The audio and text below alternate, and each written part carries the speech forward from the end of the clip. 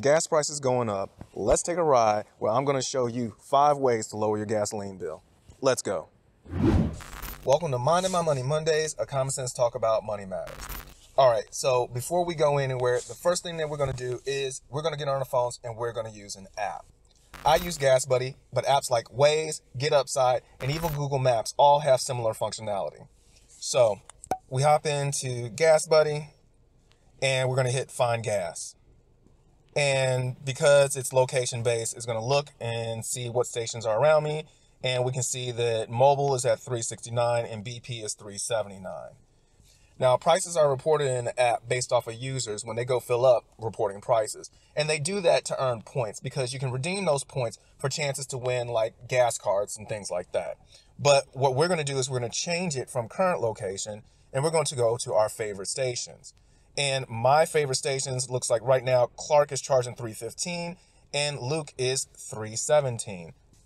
So 379 minus 317 that's a 62 cent per gallon price differential. So it's definitely worth me going to my favorite gas station to get gas. So let's head that way.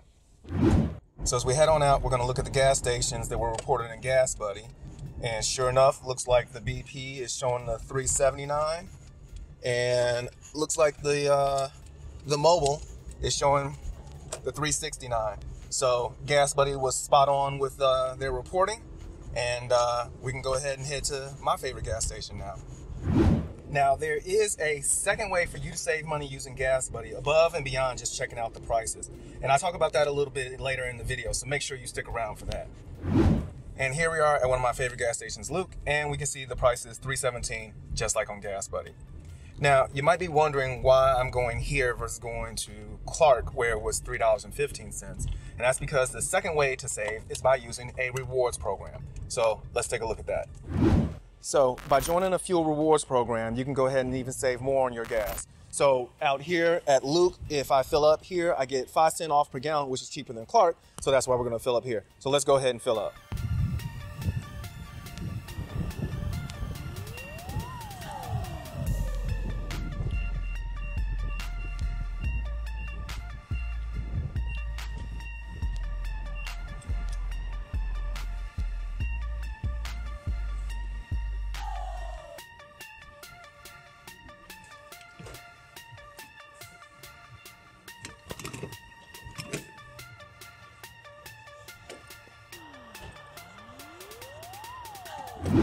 So when I filled up, there was a slight issue in that my rewards didn't apply at the pump. But the thing is, if we go into the Gas Buddy app and look in my account, I can see that the five cent per gallon was actually applied. And hey, I can just go ahead and redeem that on the next trip. But let's assume and play like, you know, the five cents was actually applied here. So according to my receipt, looks like I took on nine gallons worth of gasoline. And if we compare buying the gas at my local station versus buying it here at Luke, we can see that that is $5.58 worth of savings. Add on top of that the 5 cent a gallon times the 9 gallons, that's another 45 cent. My total savings is $6.03 per my fill up. Now, let's just say that I'm filling up every single week, 52 weeks a year, and I can save that much. That's $313 that I'm saving on gas every single year, okay? And if I can do something like uh, invest that money into something that's going to give me like 5% return on investment, say maybe like some dividend paying stocks, then hey, that's going to be 15 extra dollars that I earn on doing that. And that's the difference between those that have a poor mentality and those with a rich mentality. Those with a poor mentality look at ways to take their money and spend it and buy things that are going to make them look rich, while those with a rich mentality look at ways for their money to make them more money and actually make them rich. So, my question for you is what's your favorite gas station and do they have a rewards program? Let me know down in the comments below people all over the United States are watching this video and you letting them know what stations offer rewards programs will help everyone out immensely. Hey, and there you go. Or like my folks on the East Coast say, boom. Now, remember I told you there was a second way that you could save with Gas Buddy above and beyond just simply downloading the app and using it. And that's to go ahead and sign up for the Gas Buddy rewards card. If you download the Gas Buddy app and then go ahead and get the Gas Buddy card, you can save even more money every time you fill up. The card is free to get and you could save up to 40 cents per gallon every time you fill up if you become a premium member. Now, premium membership does cost $9.99. However, you get to save 20 cents per gallon on your first 50 gallons. So that's $10 in and of itself. And hey, that automatically pays for the membership. I'll put a link to the Gas Buddy app down in the description of this video. And if you sign up using my code, after your first fill up, I'll save 10 cents per gallon. Now, you can then go ahead and get your own code after signing up, and you can pass that on to your friends, and both you and them can then save on gas. So let's head to the next stop, and on the way, I'll share two more ways that you can save money on gas.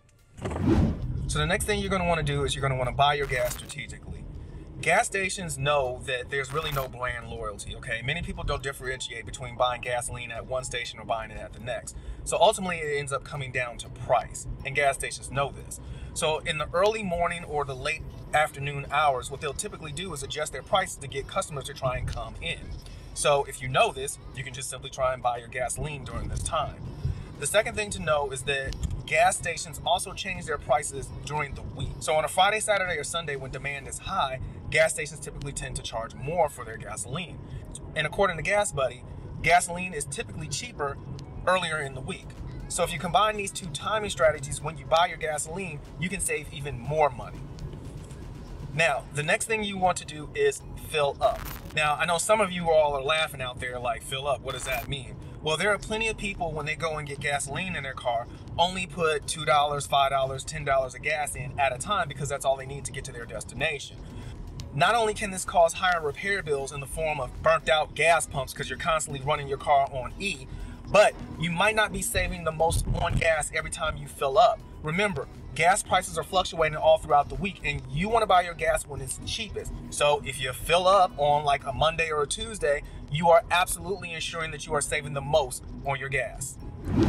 So here we are out at Strack & Van Til in Whiting, Indiana, where I'm going to go grocery shopping. And one of the reasons why I shop out here versus in Illinois is because there's a difference between the taxes between the two states. So, and that doesn't only apply to groceries, but it also applies to gasoline. And that's one of the reasons why there's such a big difference between the gasoline prices out by my stations versus here over in Indiana. So when I bunch my trips, not only do I save on groceries, but I also save on gasoline. And that's something that you should consider too, okay? Let's think about this. If you had five errands to run and you ran each and every one on a different day, you're probably gonna spend more on gasoline and driving around than if you just made one single trip and bunched them all together. So another way to save on gasoline is to bunch your trips. Now, let's go get some groceries.